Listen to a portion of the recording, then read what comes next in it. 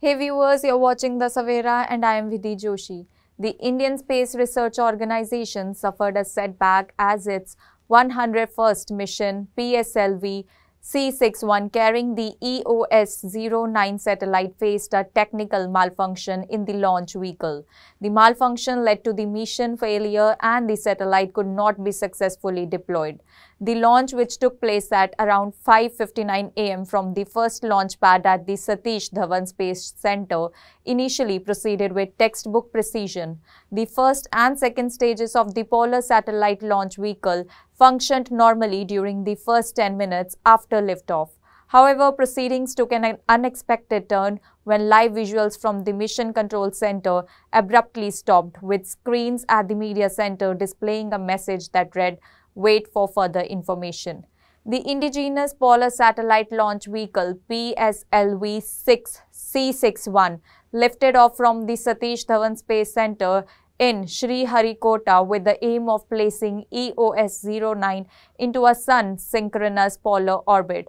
While the first and second stages of the launch vehicle performed normally, ISRO chairman Dr. V. Narayan said that an unexpected issue arose during the third stage preventing the successful deployment of the satellite.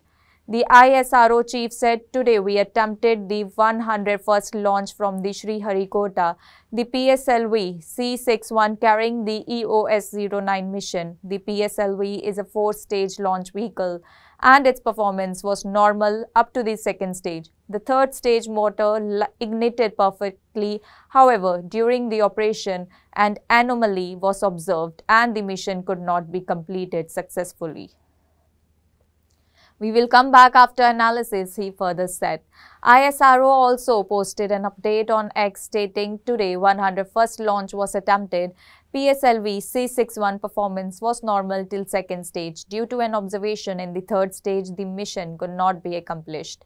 The third stage of the PSLV is a solid rocket motor designed to provide high thrust during the upper atmosphere phase of the flight, delivering a maximum thrust of 240 kilonewtons. It plays a crucial role in placing the satellite into its intended orbit.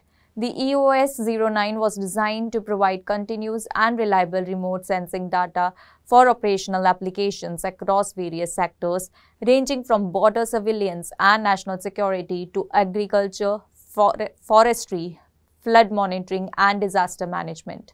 For the mission, PSLV carried a 1,710 kg satellite into sun-synchronous orbit to ensure consistent lighting of for Earth observation.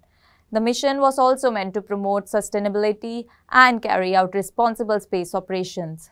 EOS-09 was a repeat satellite similar to EOS-04 launched in 2022 that was designed with the mission objective to ensure remote sensing data for the user community engaged in operational applications and to improve the frequency of observation.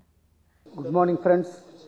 Today we attempted a launch of PSLV C61 vehicle. Uh, the vehicle is a four-stage vehicle. First two stages performed as expected and uh, during the third stage it's a solid motor system. Uh, they, we are seeing observation. Uh, the motor pressure, there was a fall in the chamber pressure of the motor case. And we are, and the mission could not be accomplished. We are studying the entire performance. We shall come back at the earliest. Thank you. That's all for now. Stay tuned to the Savera for more updates. Do like, comment and subscribe to the channel.